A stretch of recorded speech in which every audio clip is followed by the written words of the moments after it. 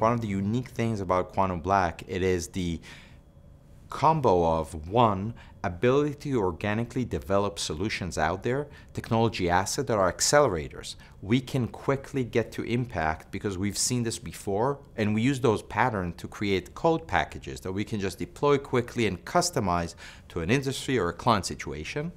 On the other hand, inorganically, we're collaborating with a whole host of now we're over 20 different partners uh, across the board from the most important large language models, data players, and application layer in order to bring the best innovation to our partners. We're big believers, and it is not anymore about build versus buy. It is about partner versus build versus buy and build on top versus develop on your own.